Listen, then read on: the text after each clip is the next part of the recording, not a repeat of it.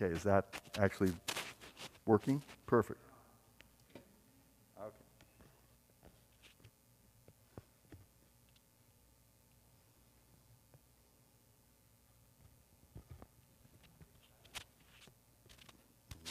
Wrong ear. Okay.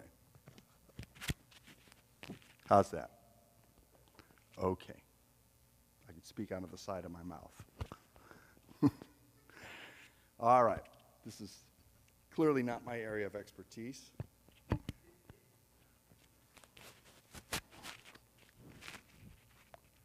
Okay. We're going to see if the mask holds it in place. Well, thank you. I, I'm going to, by the time we get to the concert, I'm going to put it on because I'm insisting that the singers wear masks, so it seems bad if I'm not. Although if we only have four people in the audience, I guess more people are coming later. Okay. We, we'll see what happens. All right. The organ. so, uh, Mozart called it the, sing- the king of instruments. Robert Schumann said it is the most unforgiving instrument, and it's very true. It's a really tough instrument to play, uh, but I love it anyway. So, what is a pipe organ? What, what has to have, an instrument have to have to be considered a pipe organ? I thought about this a lot, and I came up with three things that have to be present to have a pipe organ. And the first one is that you need an artificial wind supply. So, unlike most wind instruments, where you have somebody blowing into a tube of some kind, a clarinet, a saxophone, a trumpet, with the organ, we have an artificial source of air, and so it's some kind of a bellows system. And this already existed in folk instruments, uh, in the instrument that we know as the bagpipe, right, or the musette. It had a bag that was indirectly blown by a human being, but it allowed them to control the air and get a lot of volume out of the thing. Okay, the second thing it has to have is one note per pipe. So, unlike a recorder, which has holes in it, and I can play different notes with that one pipe, in an organ, every pipe only plays one note. And again, there was a folk instrument built on that principle already, which was the panpipe, exactly, the syrinx, uh, another direct ancestor of the organ. A syrinx, S-Y-R-I-N-X.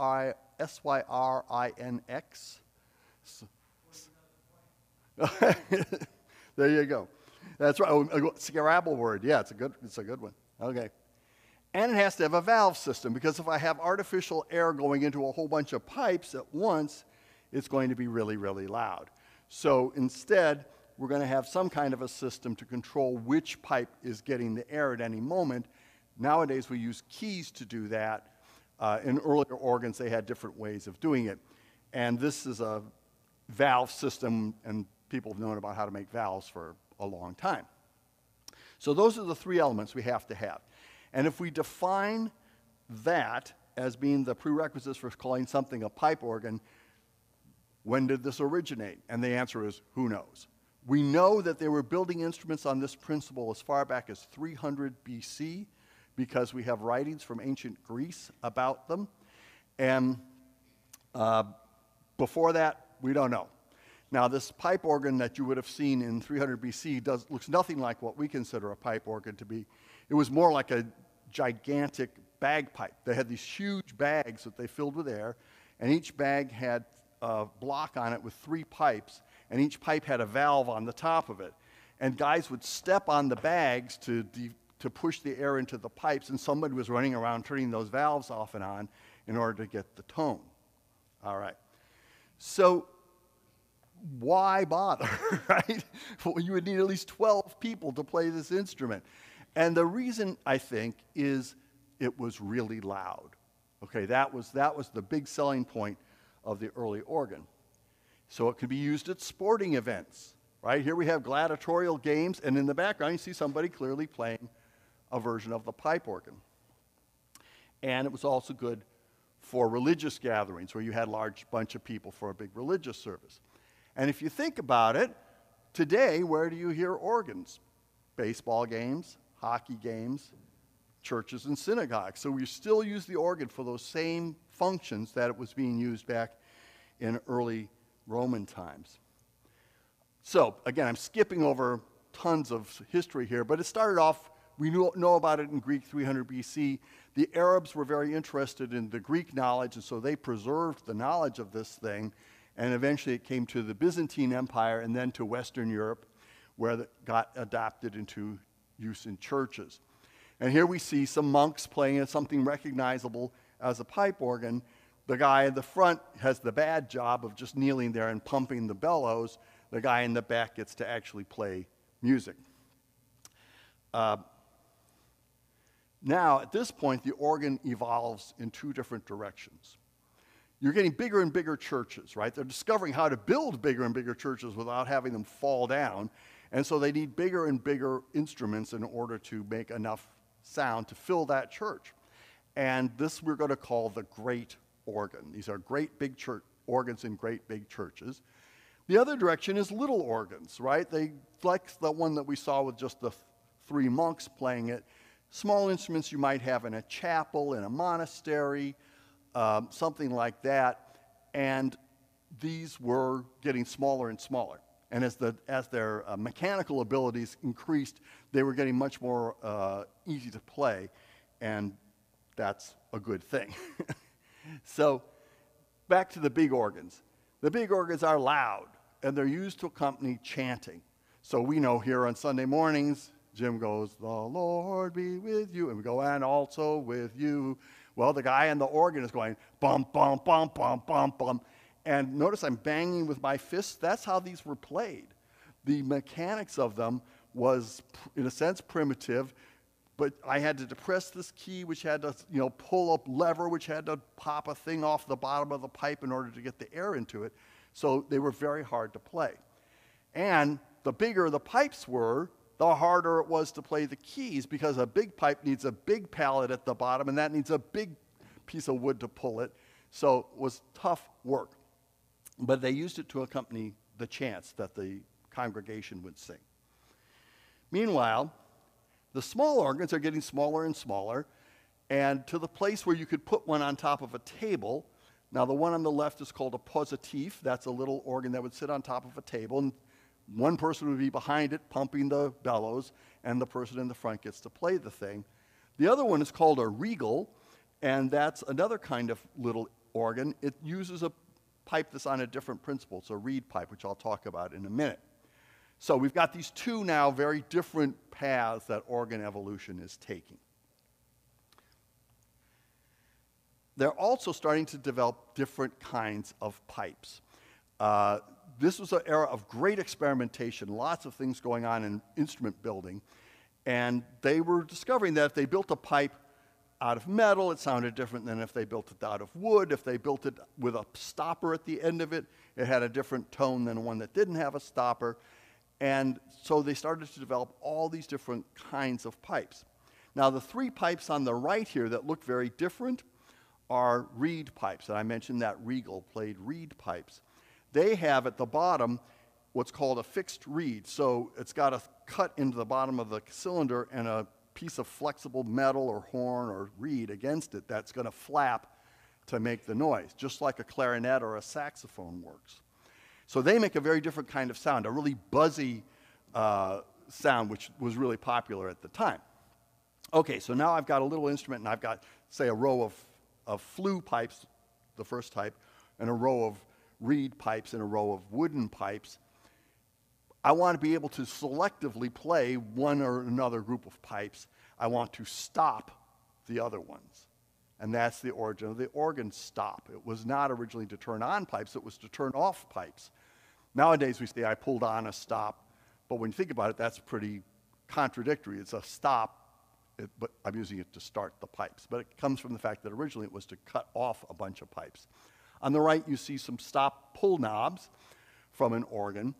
And they just went hog wild with creating these different kinds of pipes, and organs would have tons and tons of different sorts of pipes on them. And they also started to use this same stop mechanism on the great organ so that they could cut it down a little bit for softer or louder stuff. All right, so now we're ready for the first big technological leap, which gives us sort of the classic organ. And it went something like this Imagine that I'm the music director at a big cathedral church, and I'm playing my organ by whacking away at the, pedal, uh, the keys with my fists. Uh, but I also now have a choir because music is starting to develop into this polyphony with multiple voices going at once.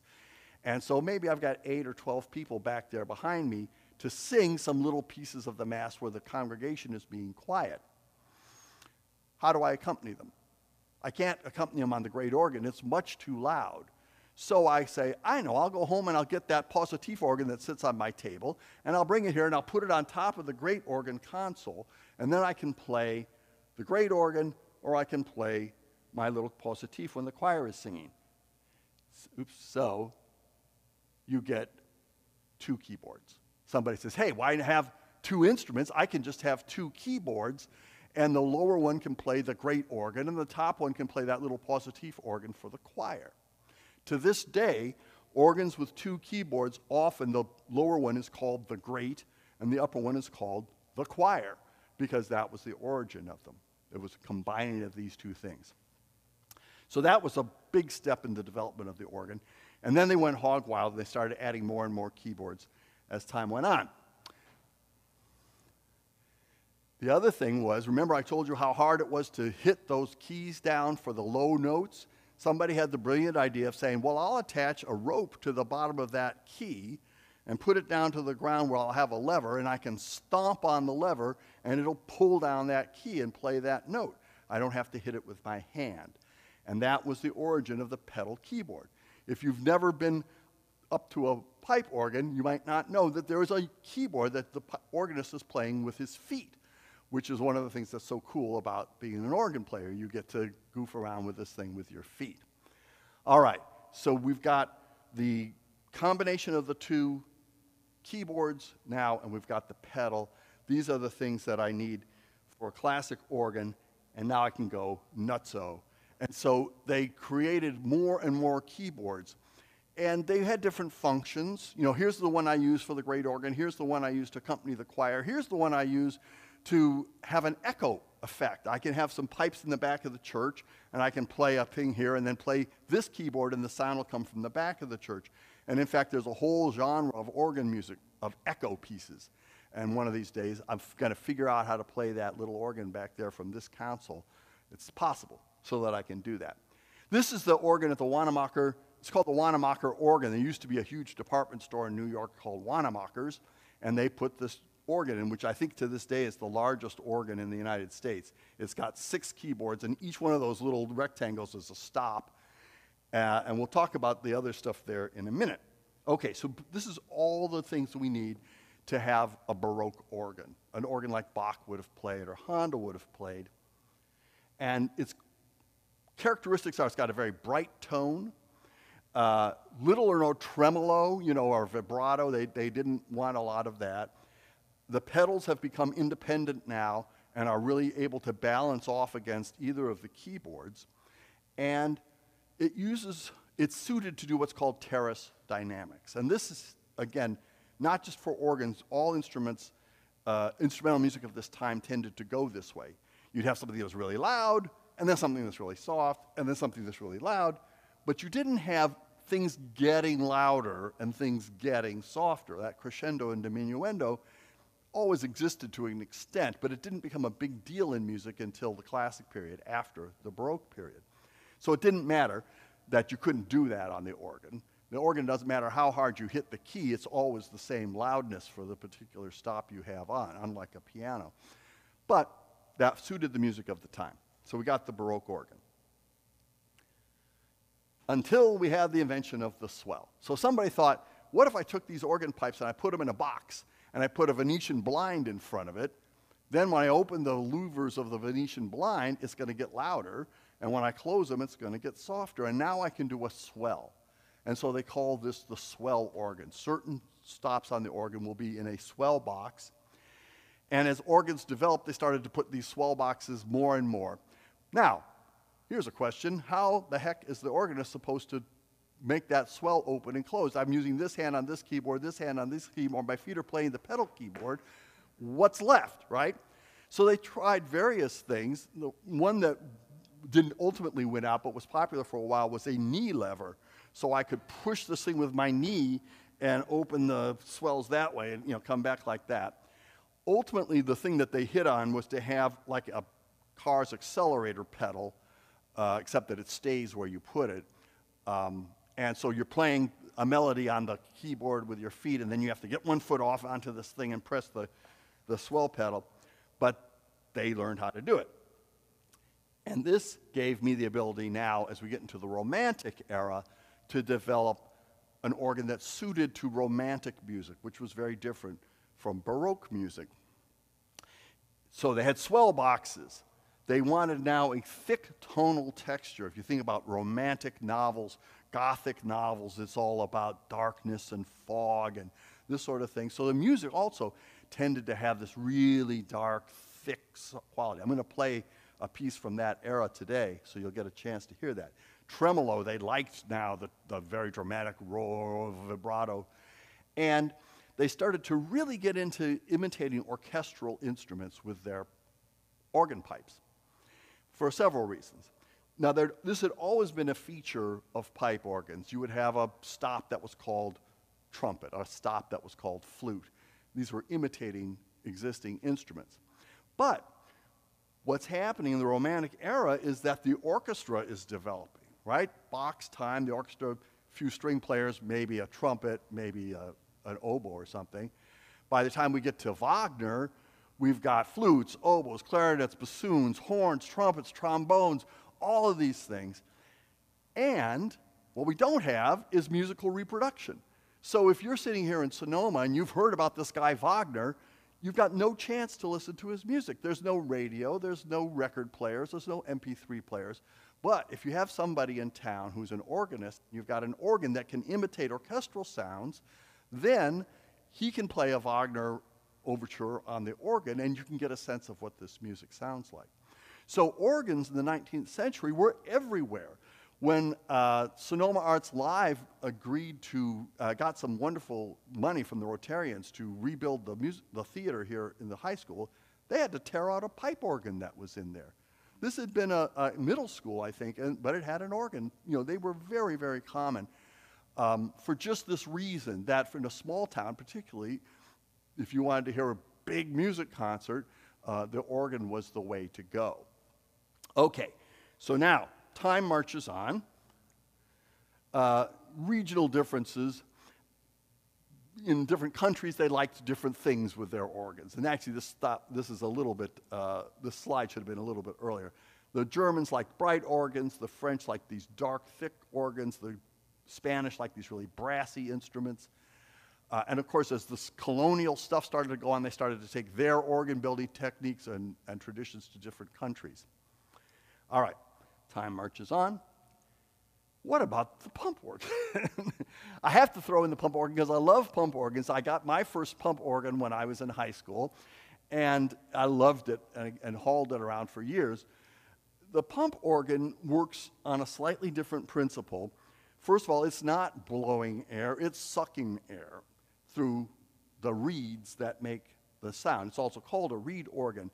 And they're not uh, beater reeds like we described, they're what's called free reeds. So it's just a metal tongue that's vibrating. This is the same principle you see in, in uh, uh, harmonica. So they discovered that they could build this thing, you could pump it with your feet to, so you don't now need two people to play the thing, and you could have different stops. And sometimes these got quite elaborate. Sometimes they even had pipes as well. I was interested to see when Sylvia and I went to Europe um, a lot of the big cathedrals had reed organs in them, what they call harmoniums, and a lot of the great uh, composers from the Romantic era wrote for these instruments, Vierne and, and Franck and people like that. Uh, on the far right, I've got the thing, this is an in, uh, developed in India, and this is another one-person instrument that's got a little bellows that you can play like this with one hand, and you can play the keyboard with the other. So it's still, the harmonium is still alive and well. Uh, I think we've got somebody trying to get in here.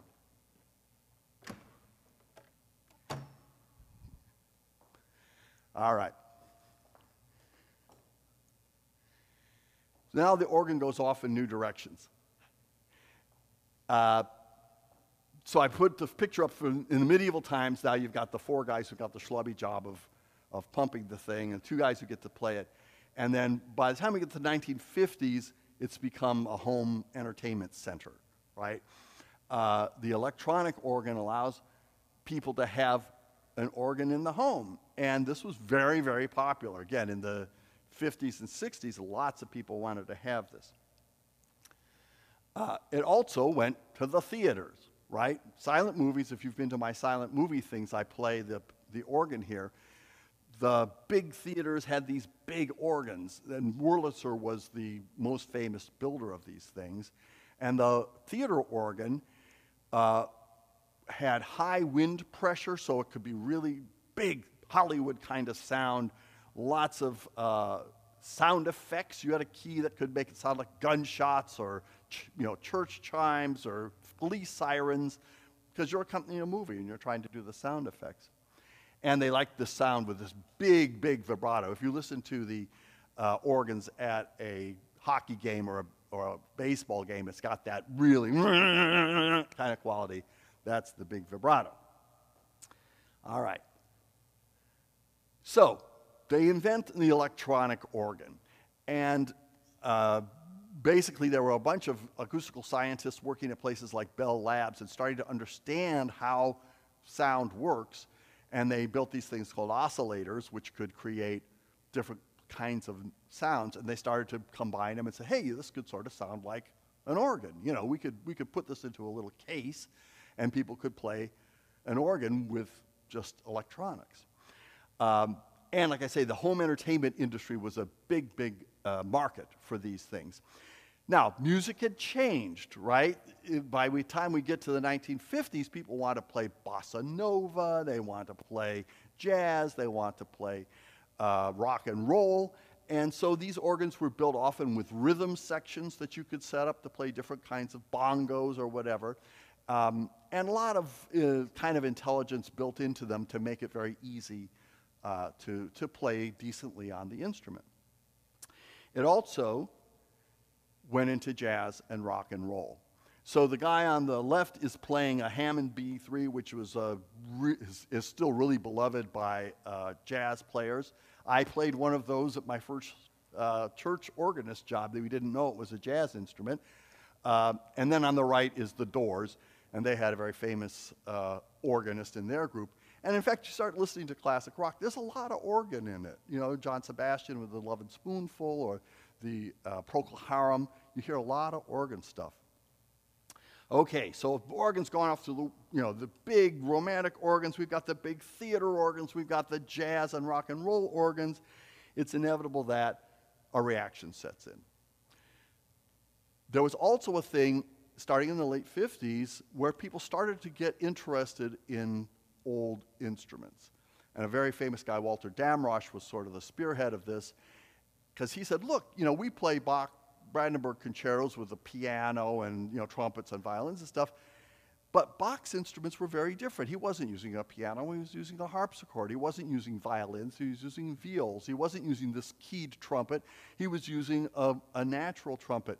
And when they started to rebuild these instruments, as they had old ones to use as models, the music sounded very different.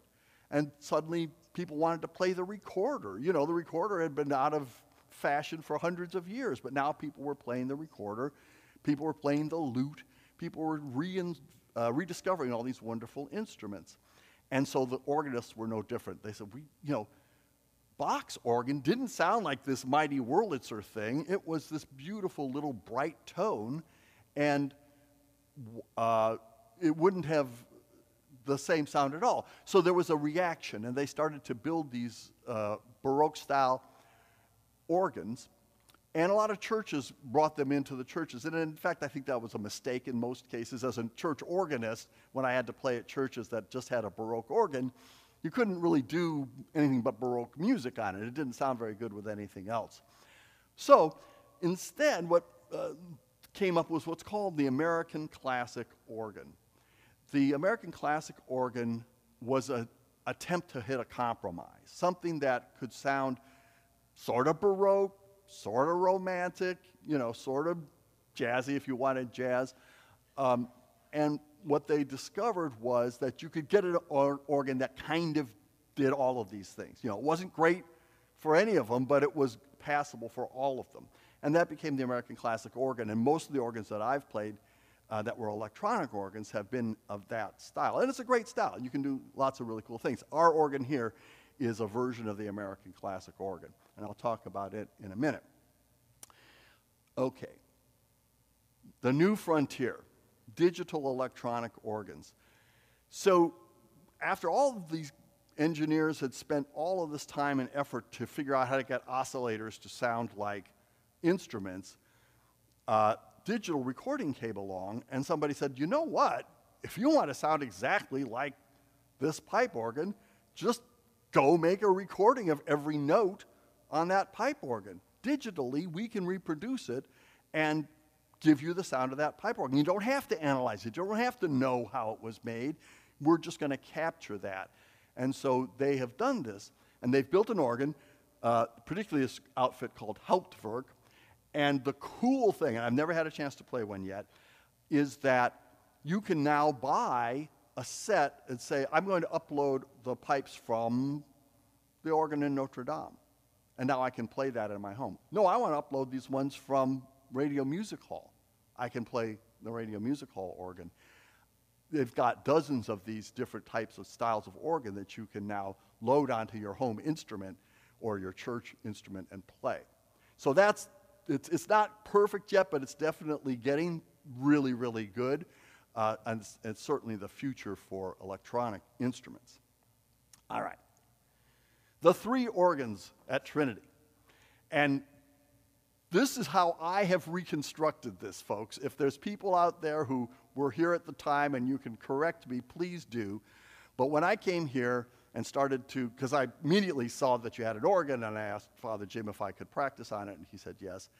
Um, I got intrigued because what happened was the church had a pipe organ originally by Wicks Company, built by Wicks, good pipe organ.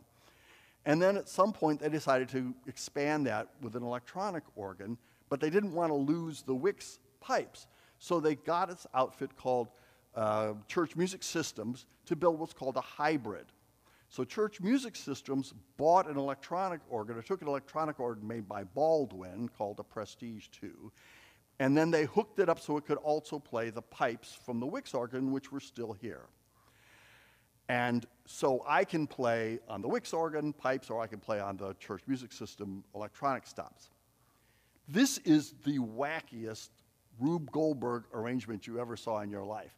I've spent months trying to figure this thing out. I've only gotten to the place where I can play half the Wicks pipes at this point, uh, but I'm going to eventually learn to play all of them. And my wonderful organ tuner friend Scott Thomas has been here many times with me trying this and that to get it to work.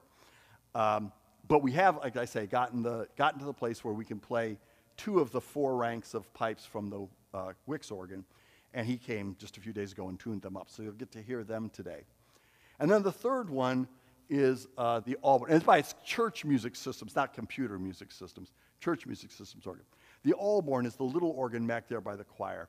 And it's a charming little instrument, just a darling little instrument, very much in that uh, revival um, mode. It really is built to sound like a, a North German uh, organ. And it's uh, a load of fun to play. I'm going to be playing a couple of numbers on that as well. Okay, how are we doing on time? Oh boy, I zoomed through it this time. Okay, great. We got plenty of time to, for me to answer questions and then get set up. Yes. So those are, those are the pipes. If we weren't in COVID times, I would take you on a tour back there and show you uh, the pipes. But they are back behind that screen. Let me put my mask on because I'm making everybody else do this. Okay, here we go.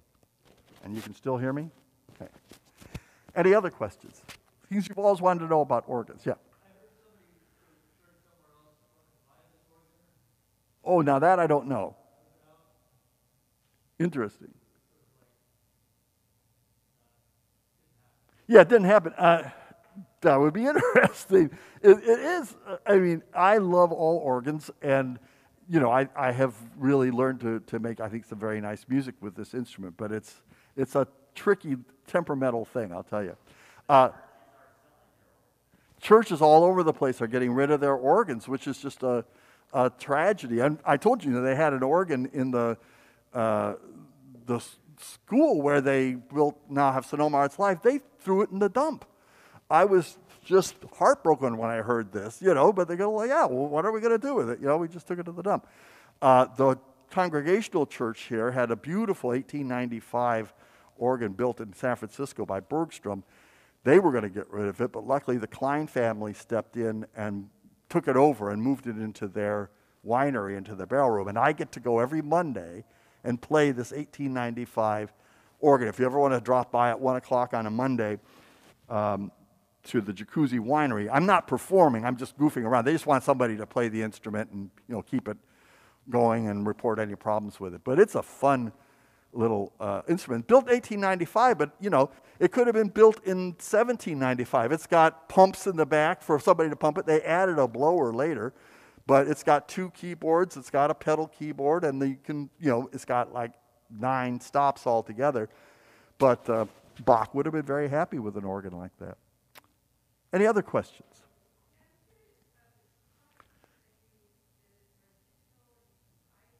Yeah. So, so it's no pipe at all. I mean, it's, it's, it's just imagine that I've got a computer attached to a computer, con- uh, an organ console. And I can load up software, which is basically just somebody has sampled every pipe of this organ, whatever it is. So the, the organ at Notre Dame. And now it's those how to make that sound digitally is uh, stored in that program. So when I push down the keys, it says, oh, he wants to play these stops on this keyboard of this organ, and they, it can reproduce it.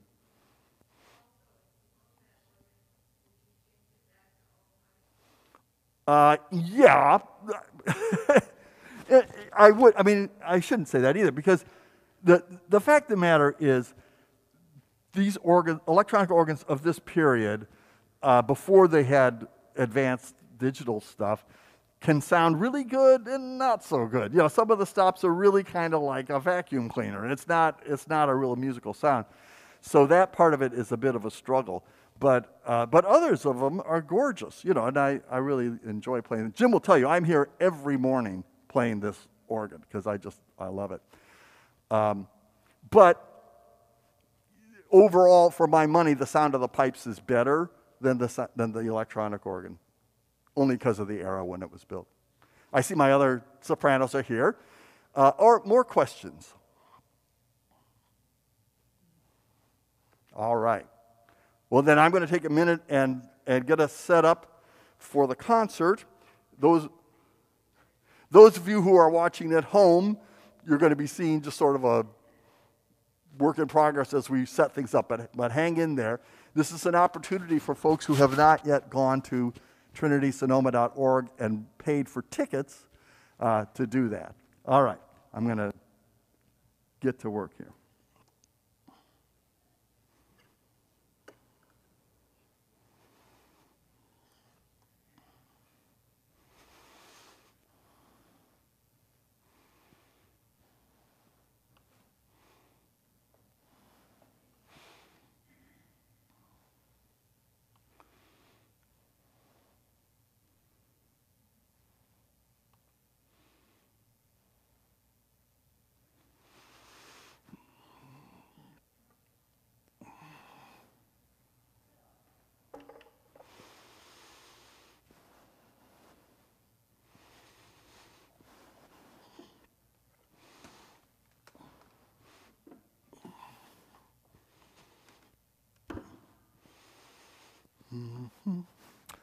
Okay, so Amber and Morgan and Emily, did you need programs? You have one. You have you need, you have one. Okay, fabulous.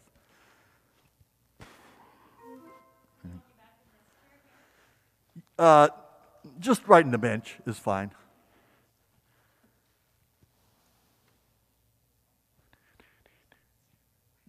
Yeah, you remember where it is? Okay. And I have a list of things I have to remember to do. Let's see what it is.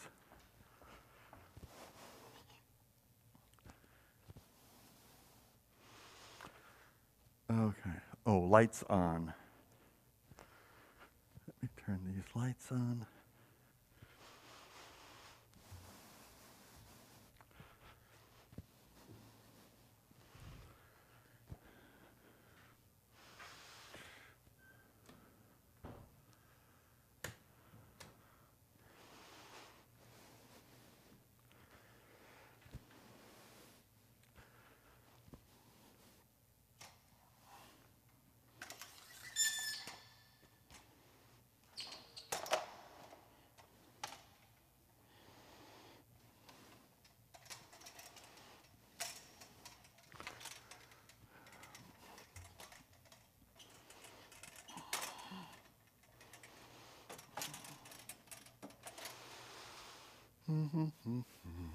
Okay.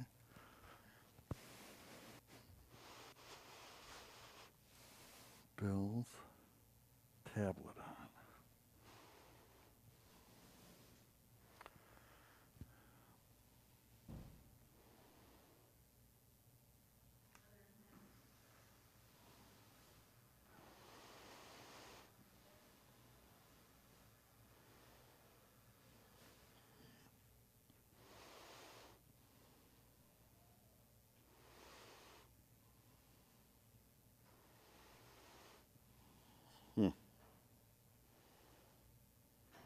Interesting.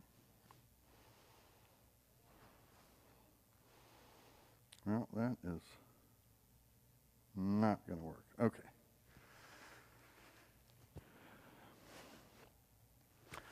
So we, uh, we're already well in development of this before we decided we had to do this as a virtual concert. So that's why I'm having to do a lot of odd little things here to get things going.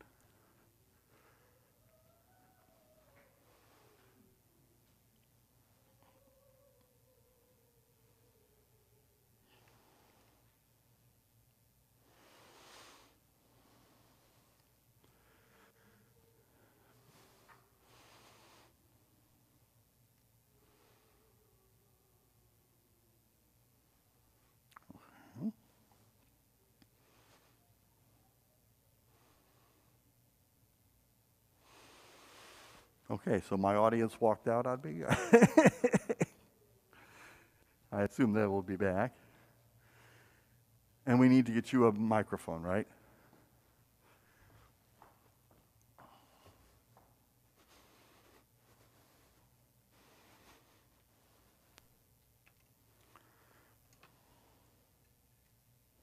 All right, you know how to put that on? Great.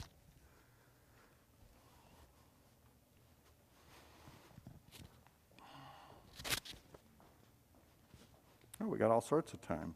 Great. Is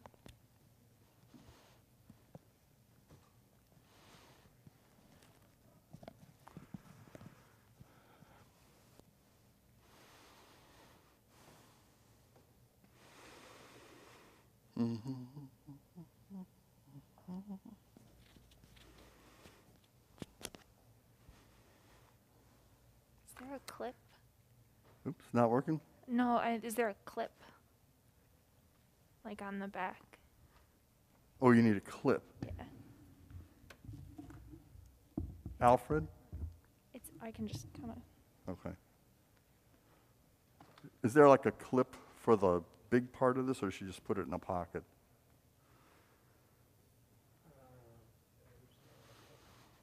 Okay, I can just. I don't have a pocket. I'll just stick it like there. I guess. yeah, I don't know. It's not real. yeah. No, it's okay. All right.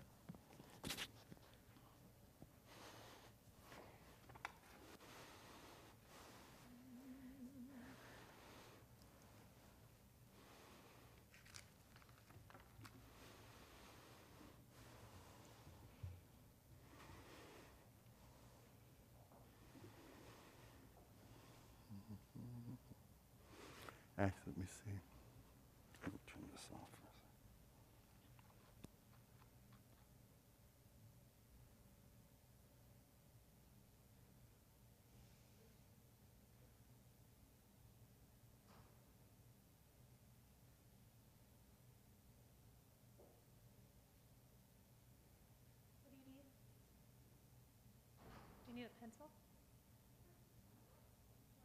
Oh, like, yeah. A Little tilt.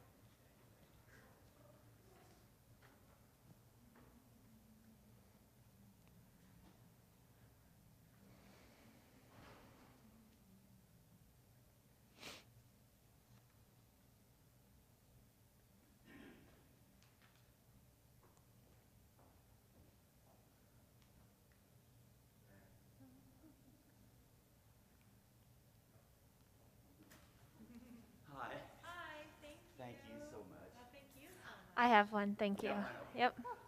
This is, I'm out of whiskey, you all. Calm the nerves a little shot. Okay.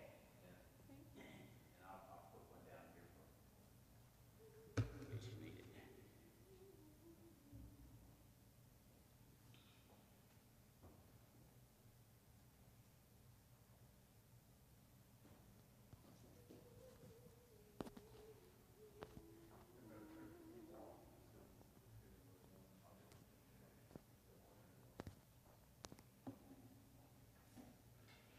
Yeah, I get tired of motor. I mean,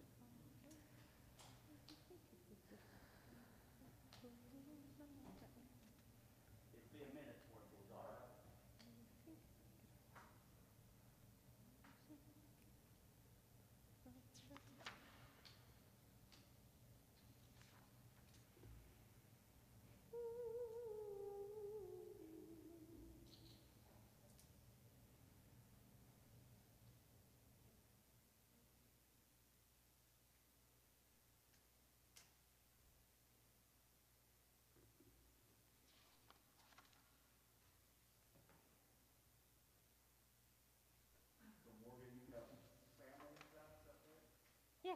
Yes, yes, watching, doing the watching screen. Oh, great. Not just thinking, you know, I, we kind of, you sit around until seven o'clock. Oh, no, no, no,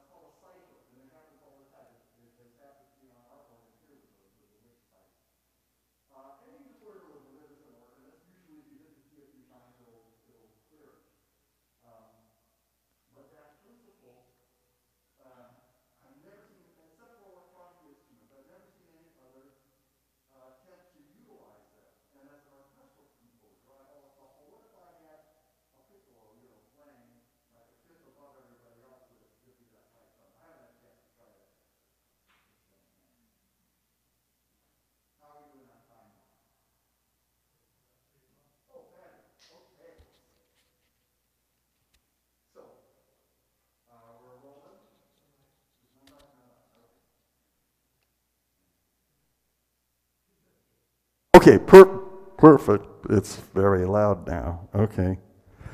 Is there a way we could adjust that? Is it on here somewhere? Mm -hmm.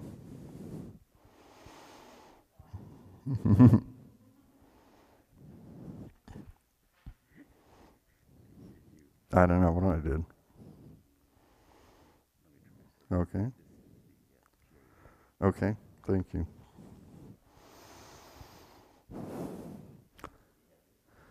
Well, let's let's try this because I'll be playing the keyboard. Uh, and by the way, you know, really, Alfred has been wonderful. Alfred Escoffier to help us get this set up so that we could do live streaming, and I appreciate Jim's help as well. Yay! Oh, mine has a clip. Okay, that's much better. Thank you. I have a big voice to begin with. All right. Welcome to this concert called The Sinless and the Sinner. And my name is John Partridge, and I am very, very thrilled to have one, three wonderful sopranos with me today. We've got Amber Marsh, we've got Emily Evans, and we've got Morgan Harrington. And uh, we're going to be doing organ music and also some vocal compositions of mine. And they're centered around uh, two very important figures in the New Testament Mary, the mother of Jesus, and Mary Magdalene. And these are really interesting characters. Um, when I first started to read the Bible as a kid, I was just fascinated by these Bible stories and the people in them and trying to imagine who they were, why they were doing the things they were doing. And it has been the impetus for me over the years to write a number of pieces I've written oratorios and cantatas and uh, anthems and plays and skits and musicals, all on Bible themes because I'm so fascinated by this. So tonight you're going to hear excerpts from some of these pieces uh, that I've written. I'm going to start with an organ piece. So the first half of the concert is kind of around the Nativity.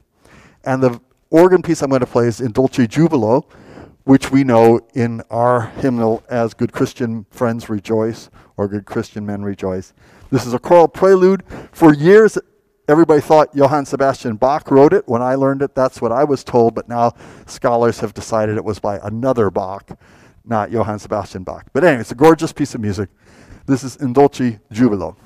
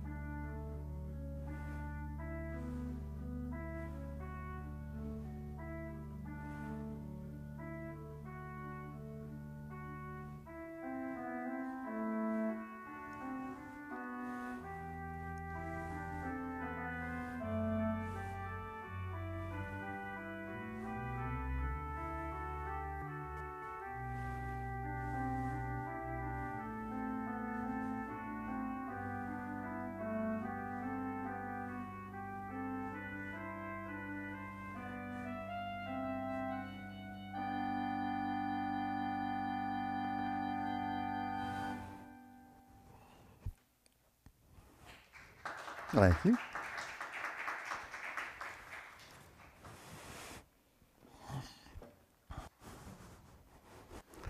All right, now we're going to have the first vocal piece, and Emily Evans is going to be singing this. It's called Tapestry. And this came from a uh, children's musical. Uh, I did not write the children's musical. It's called Sleepover at the Stable, but I had such a talented little girl in my choir. I wanted to give her a solo, so I wrote this for her. And so this is about what we Christians call the Annunciation, when Gabriel comes to Mary and tells her that she's going to have this baby Jesus, who's going to be the Messiah. But of course, that's both a good thing and a bad thing because this is going to be a source of tremendous pain for her in her life to see her son crucified. So that's what this is about tapestry.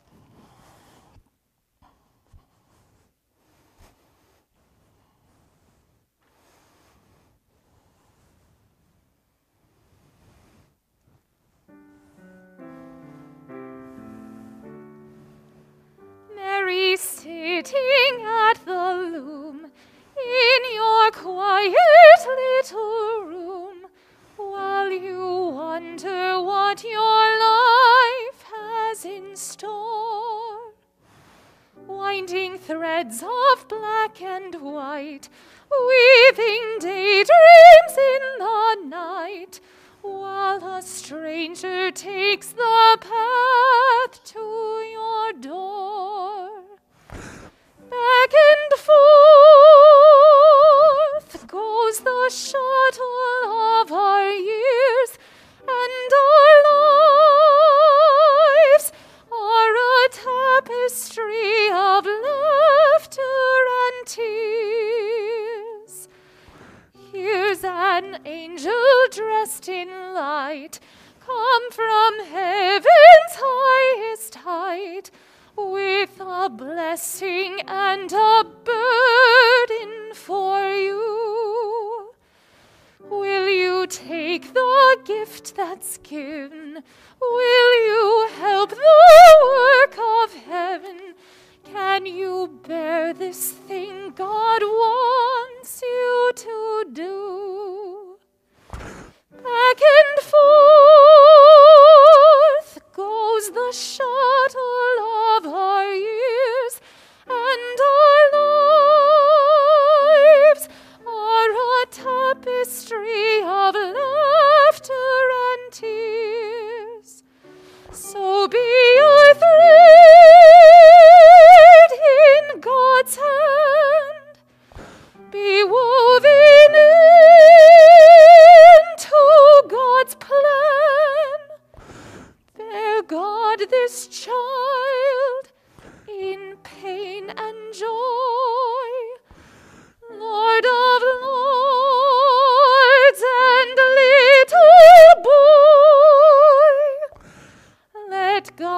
put you to the test.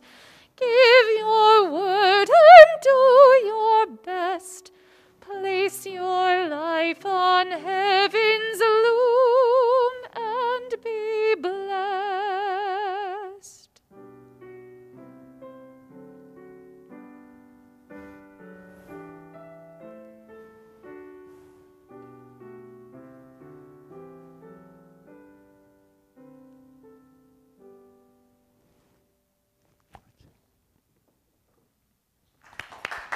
Thank you. Wonderful, wonderful. All right.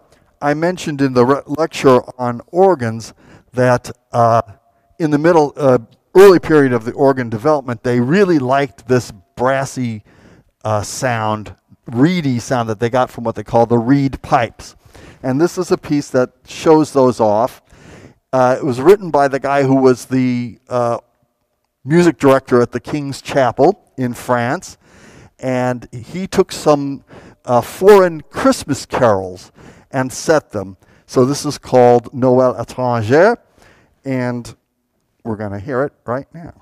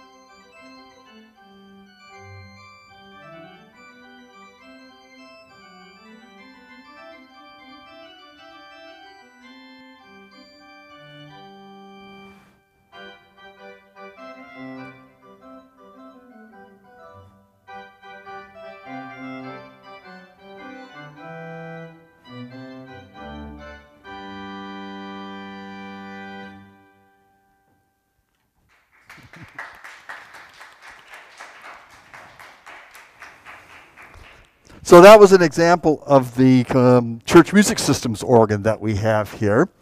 Uh, electronic stops, and it sounds pretty good. So now I'm going to go back to the little Ahlborn organ and play, uh, first of all, a choral prelude called Wachet auf uns die Stimme, which is the carol that we know in English as Wake Awake or Christians uh, Wake. The Night. and it's an Advent carol. Okay, so this is by J.G. Walther, who was uh, contemporary of Bach. In fact, he was related to Bach.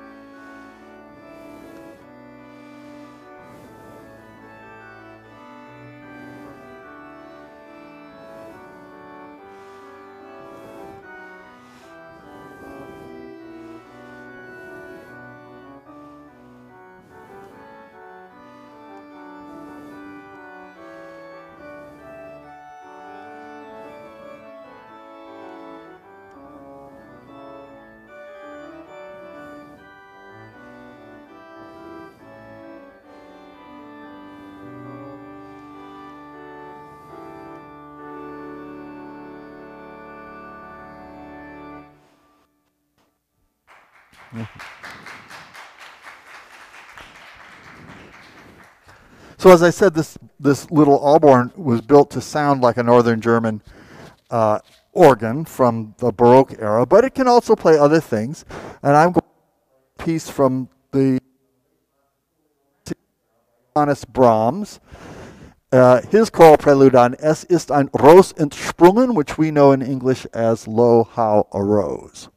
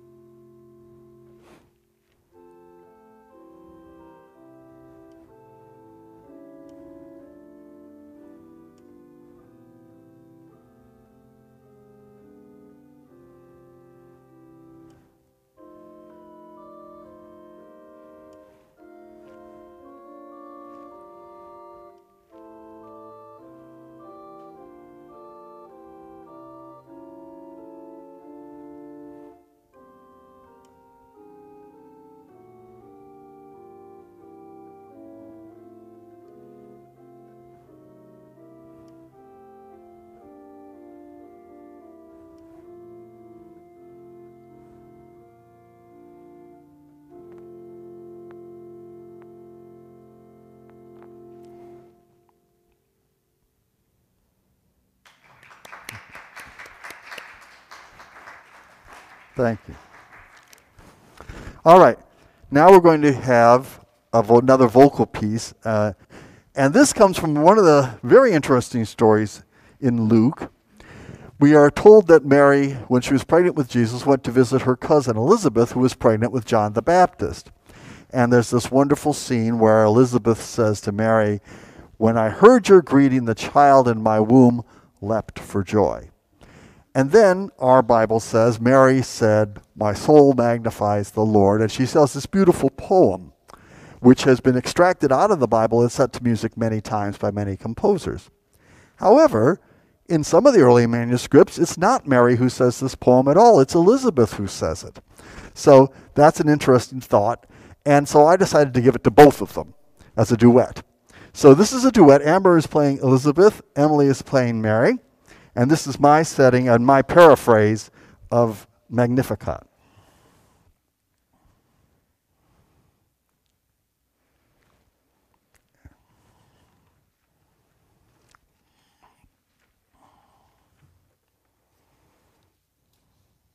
We ready?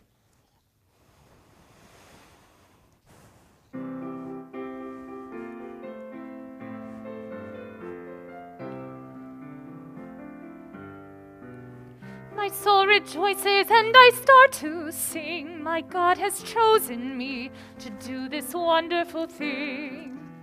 Now all the people of the world will say that they are blessed through you on that miraculous day. Now the poor are lifted up. God has filled their cup while the rich he has sent empty away. Who am I that God would do this for me?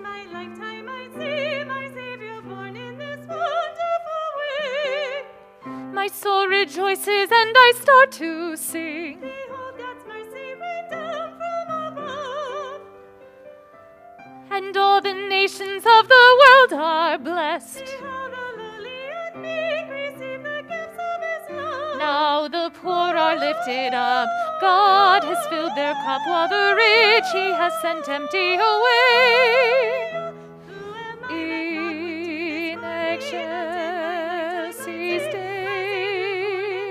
Deo,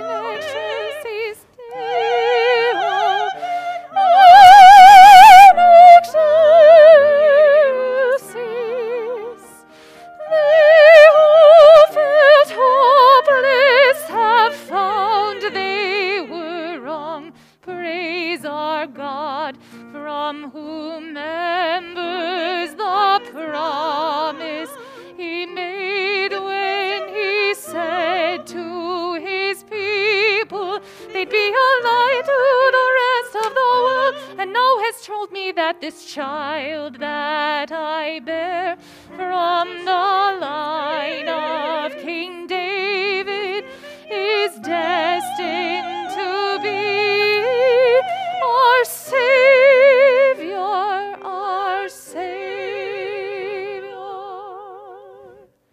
My soul rejoices and I start to sing.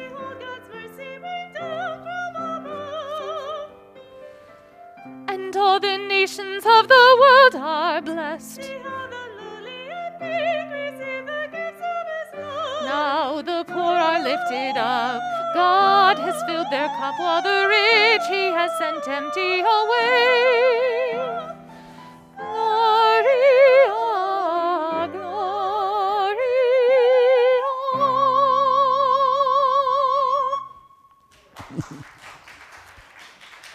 Thank you. Wonderful, wonderful. By the way, it is really tough to sing wearing a mask. I want you to know these, these women are doing a fabulous, fabulous job in very difficult circumstances. Okay, so that was uh, my setting of the Magnificat. It's said, as I said, many, many times. And uh, one setting, which was in a plain chant version of it, Bach used the beginning of it as a subject for a fugue. So I'm going to play uh, Bach's fugue on Magnificat, and this is going to be on the Wicks organ. So these are the pipes that are back there.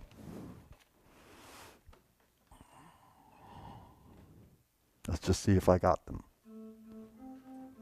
Okay. Nope, That's not right. Hang on.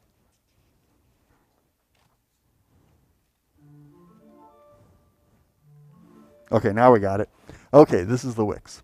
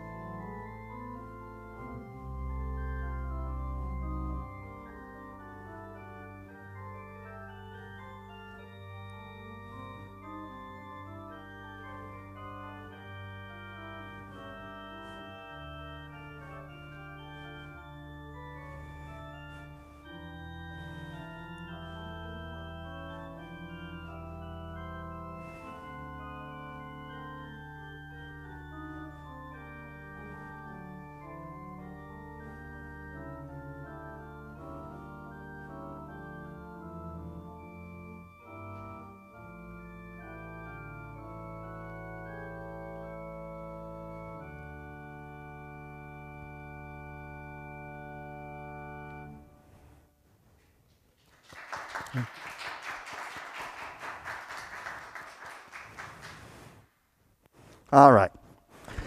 So now we're going to come to uh, an excerpt from a very big piece of mine called Chiaroscuro. Chiaroscuro is a gigantic piece that takes place over three different performances one on Christmas Eve, one on uh, Good Friday, and one on Easter. So this is from the Christmas Eve service. And the whole thing about Chiaroscuro is the fight between God and the devil, between light and dark. And so we have the nativity going on and the shepherds in the fields before they've been uh, talked to by the angels uh, are praying to God to send the Messiah to save them. The Romans have come, they've taken over the country. It's this terrible situation. But the devil is always at work trying to pull people away from trust in God. So he gets one of these shepherds, a woman named Judith, and tells her her brother has just been killed by the Romans.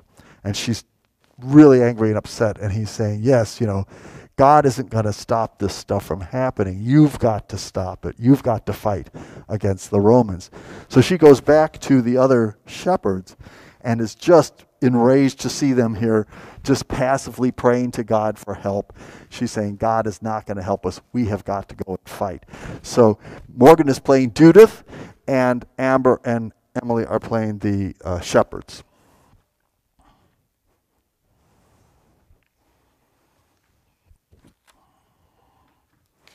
Oops.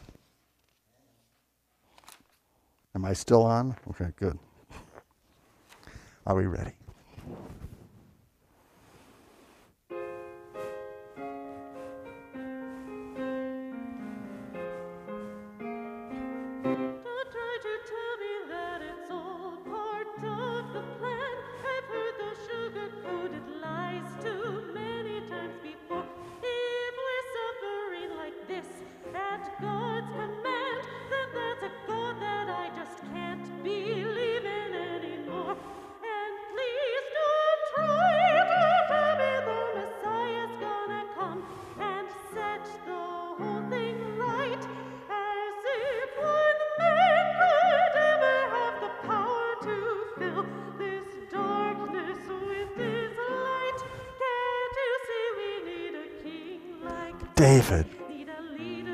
Moses, Elijah, Saul, Aaron, Solomon, Samuel.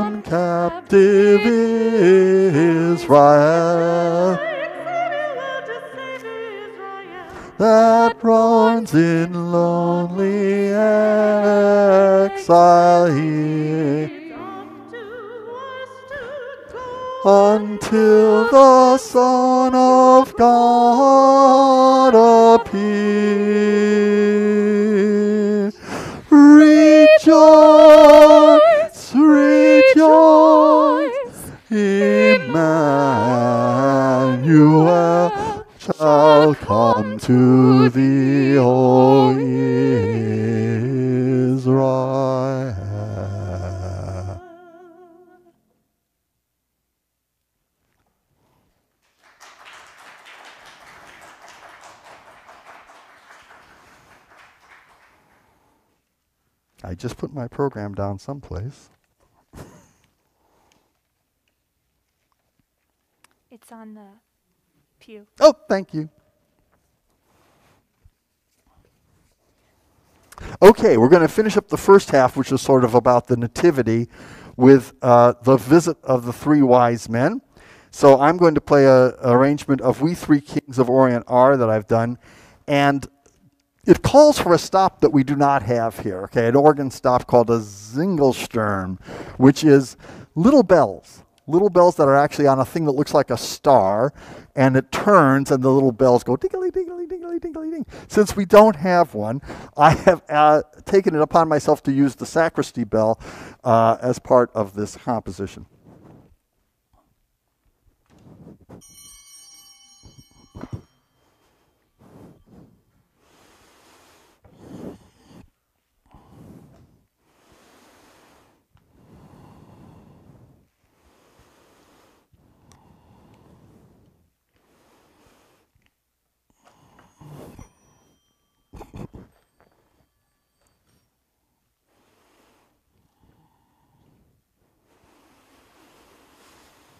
And this is on the s- uh, church music system organ, the electronic organ.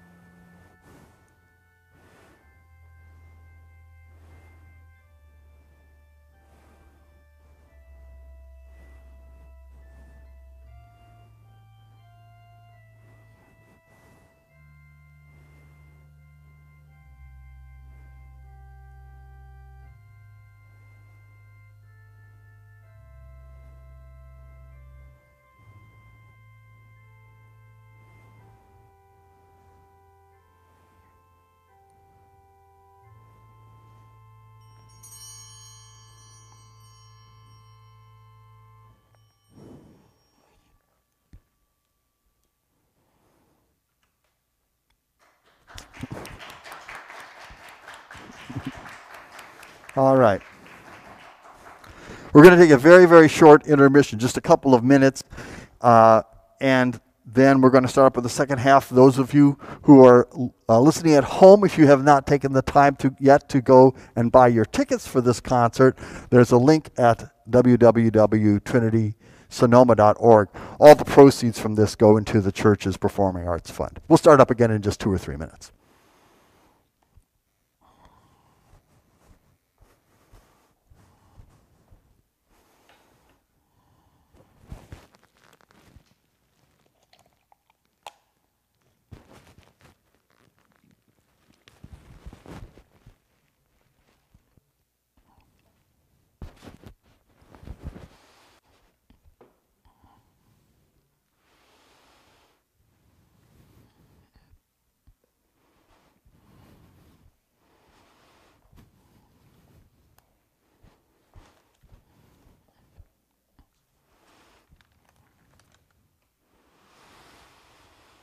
Mm-hmm. Oh, sure. Do whatever you need to do. We, uh, let me. Tur- I'll turn on the other uh, gobos too.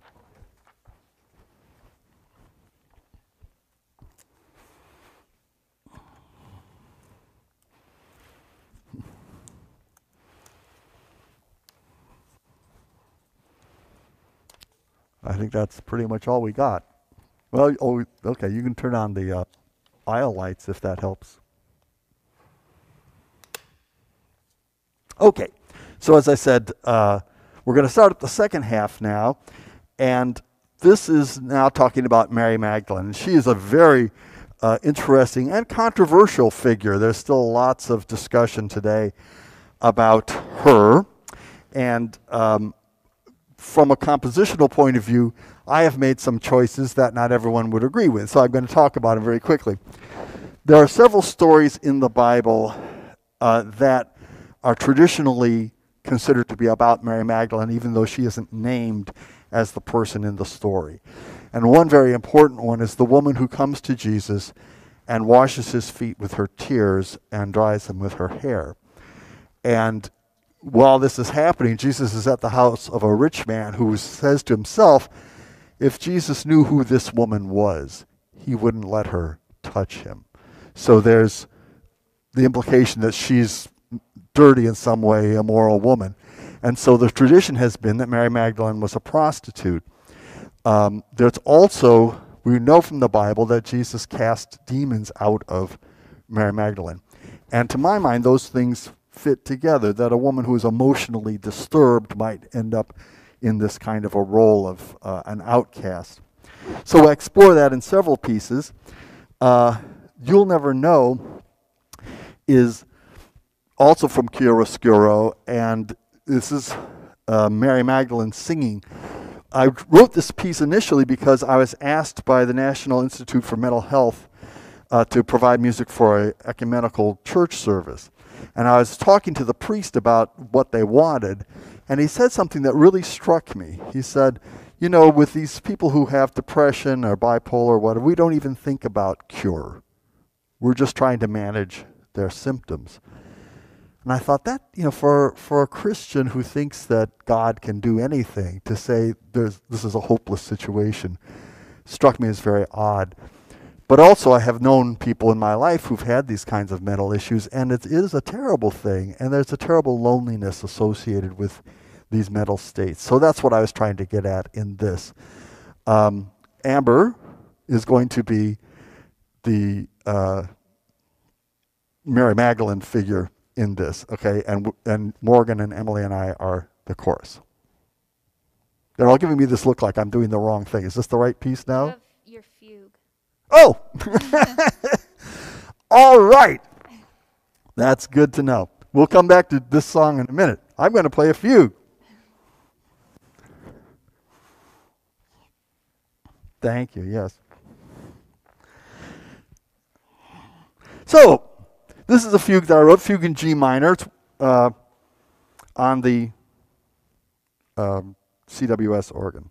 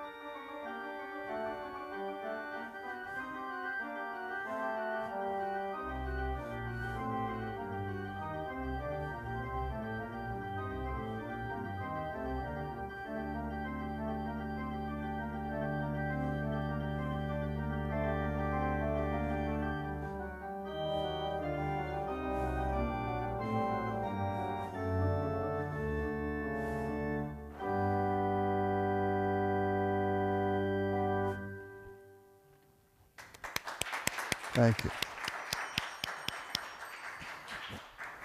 Okay, now are we ready? Yes.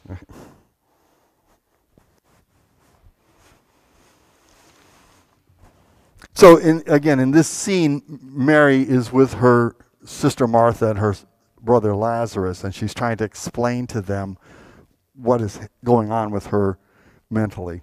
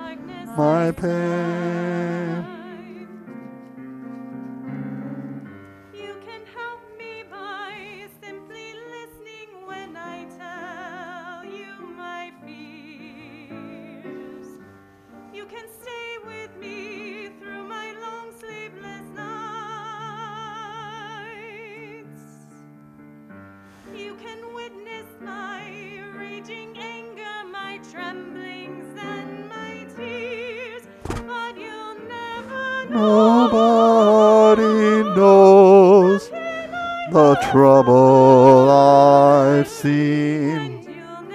Nobody knows my sorrow.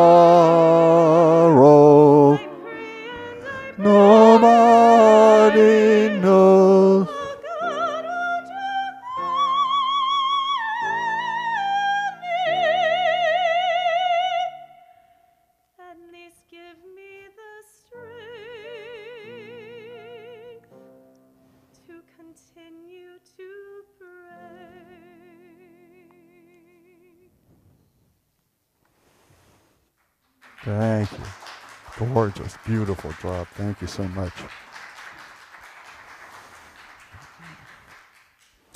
Okay, another fugue, and this is going to be on the Wicks organ pipes. And this is, oh, by the way, this is dedicated to a woman named Adele Lemon. I hope her daughter, uh, Nancy Lemon, is listening. She, uh, Adele was a very important person to me in my life when I was a uh, young man in high school and college. And uh, she, Adele passed away recently, and we haven't been able to have a memorial for her because of COVID. So this piece is dedicated to her. It was dedicated to her when I wrote it years ago, too.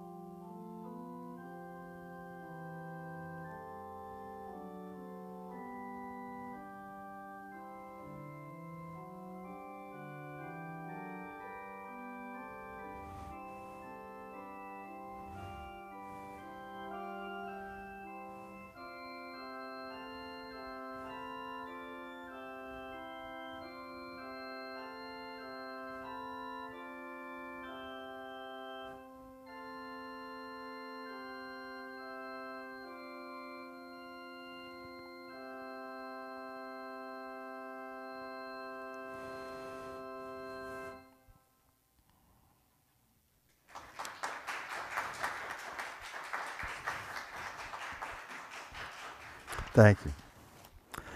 All right. So now uh, we get to talking about Jesus in his ministry. And in the course of his ministry, he encounters three different women, uh, each one a really fascinating character. So the first one is the woman at the well, right? A Samaritan woman that he meets. And there's a lot of stuff going on in this story. The Jews and the Samaritans don't get along at all. They don't talk to each other. They don't have anything to do with each other. And yet he asks this woman to give him something to drink. She's really surprised at this. And eventually he starts to talk to her. I could give you the living water that you would drink of this water. You'd never be thirsty again. And then it comes out, uh, he says to her, Go home and, and talk to your husband. And she says, I don't have a husband. And he says, That's right. You had three husbands. You have none. And the man you're living with now is not your husband. So then she thinks, Who is this person who knows these secrets about me? Could he be the Messiah? Right? And so as I was thinking about this woman, again, I thought about somebody who's who's had just this terrible luck with men. Right? Just everything has gone wrong in her life is around men. So the woman at the well is going to be played by Morgan Harrington, and then the second woman that he meets is this woman with a hemorrhage, and we've been told that she's been bleeding for eight years. She spent everything she has on doctors and medicines. Nothing has helped.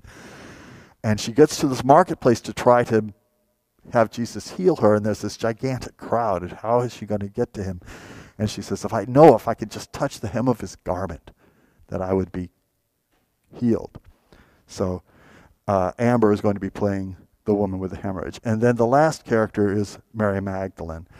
And again, a woman who is uh, has a lot of personal demons that have driven her to this a life of promiscuity, and Jesus has saved her. So she goes to him to say, to thank him, but also because she knows that somebody who would forgive someone like her, the world isn't going to forgive him.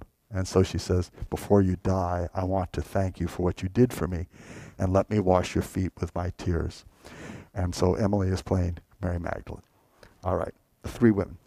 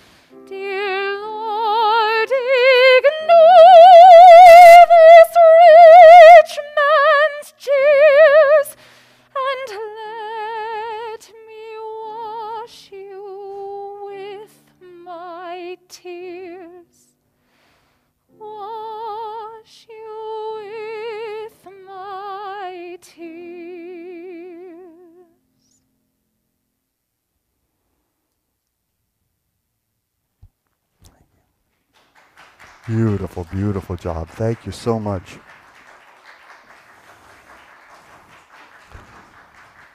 What a thrill to hear a piece of mine sung by these incredible artists. It's just overwhelming. All right, I talked about um, the French and Romantic organ traditions where they like these thick, dark kind of uh, textures. I'm going to play a piece like that by Louis Vierne called Préambule.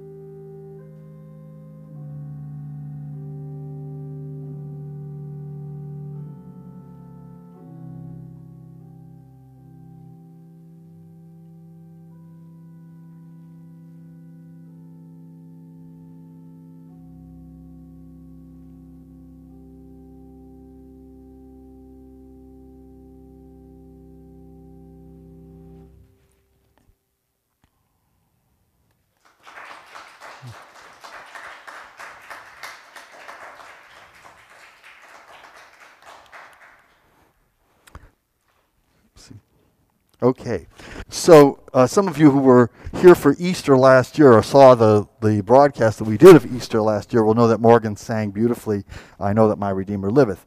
And when I knew that I was going to get to finally work with her, for various reasons, we kind of tried various projects that never panned out.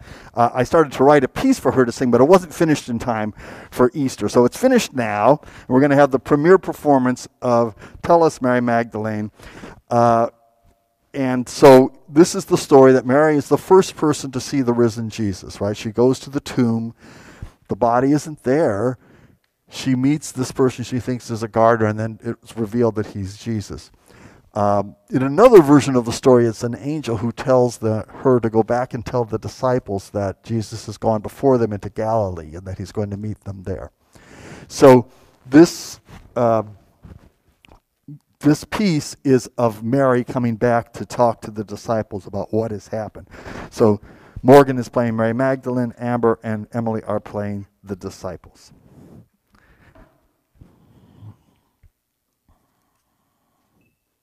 And I'm playing it on the organ stop on my little Yamaha keyboard.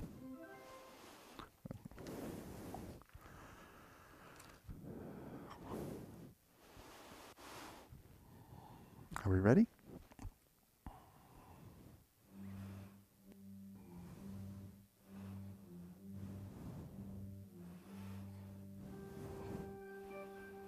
I'm sorry. Let me try that once more. This doesn't sound right.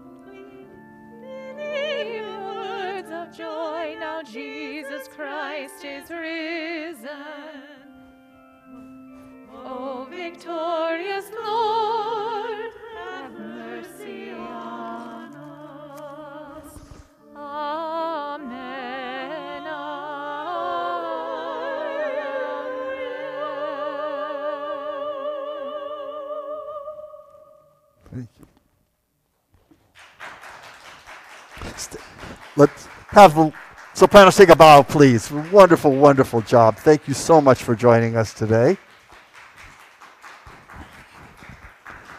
And thank you, yes. By the way, uh, Morgan and Emily and I are going to be in a play just across the parking lot put on by Sonoma Arts Live towards the end of February. They both are amazing in this play, so you should definitely come and hear it. It's called Master Class, put on by Sonoma Arts Live. We're going to finish up with a fun organ piece.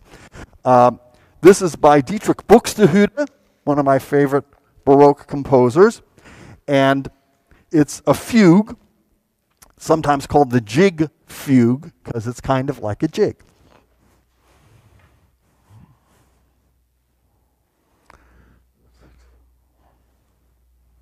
Wait for the truck to go by.